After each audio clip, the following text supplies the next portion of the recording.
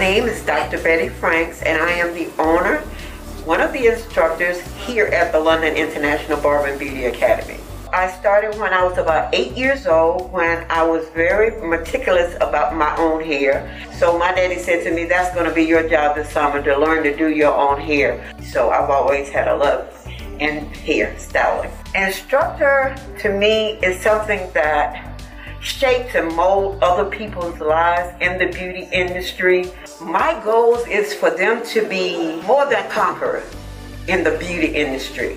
My goal is to turn them from the metamorphosis, the caterpillar, into a beautiful butterfly.